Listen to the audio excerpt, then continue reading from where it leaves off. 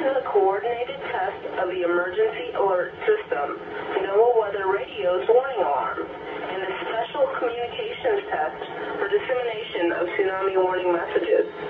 Also, if you are participating in today's statewide earthquake drill as a part of the West Coast Great Shakeout exercise, drop, cover, and hold now and follow your post-earthquake drill procedures. This is only a test. The following tones will conclude this test.